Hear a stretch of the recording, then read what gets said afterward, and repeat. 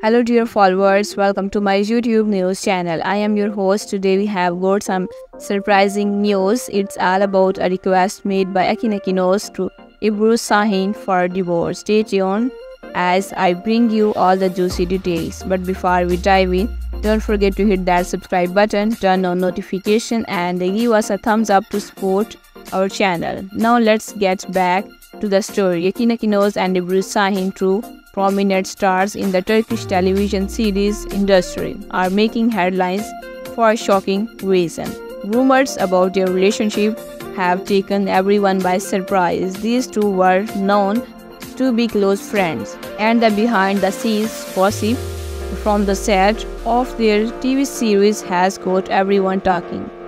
It appears that um, the once beloved couple in the magazine world is facing a rough patch. Yes, you heard it right. Akin Akinozu has asked Ebru Sahin for a divorce. But why?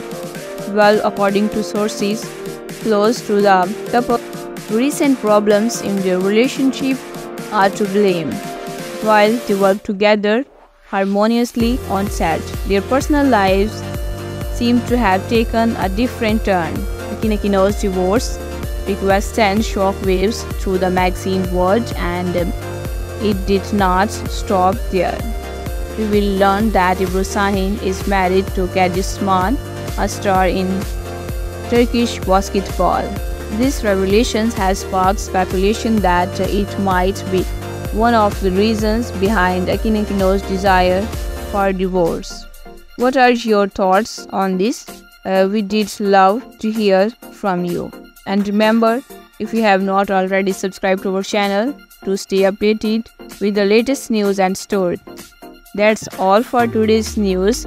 Thank you for tuning in. I, I hope to see you in our future videos. Bye for now and stay with us for more exciting updates.